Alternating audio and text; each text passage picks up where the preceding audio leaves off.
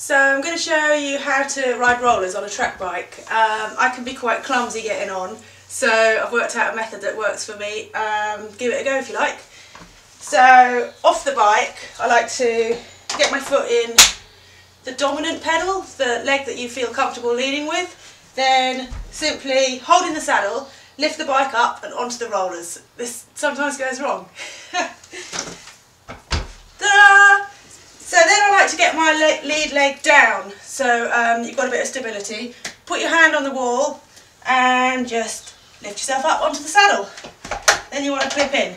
The next thing to do is um, as you start pedalling you can actually lean on this arm on the wall and it gives you a bit of stability and then I like to move my hand down and onto the bars and then you lift your elbow off the wall. So uh, we'll give that a go.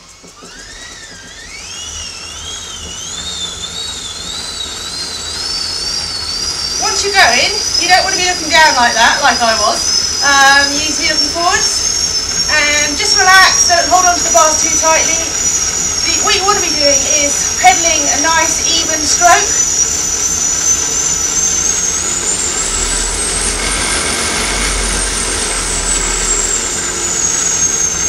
And when you're done, just put your arm back on the wall, if you like, and unclip